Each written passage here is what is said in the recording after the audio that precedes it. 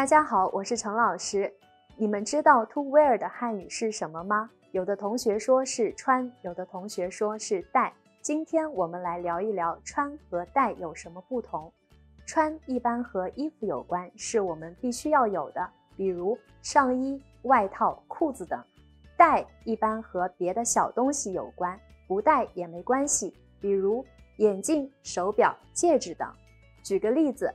这几天天气突然变冷了，大家出门的时候一定要多穿点衣服，当然也别忘了戴好帽子、手套和围巾，千万别感冒了哟。但是袜子这个词，我们要说穿袜子。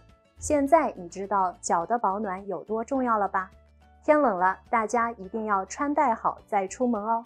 你们学会了吗？我们下次见，拜拜。